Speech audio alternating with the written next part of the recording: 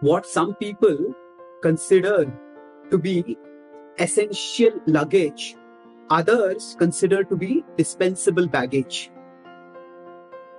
When we are traveling, we often pack a lot of things, and others may tell us, You don't really need this. And we may think, No, I absolutely need it. What differences of opinion apply to our external baggage can also apply to the internal baggage that we carry in our minds.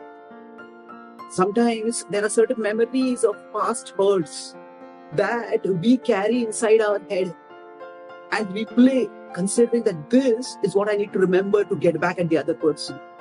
But wise people may tell us that this is dispensable baggage, that we need to just close that chapter and move on in our life without hurting ourselves by holding on to those hurtful memories.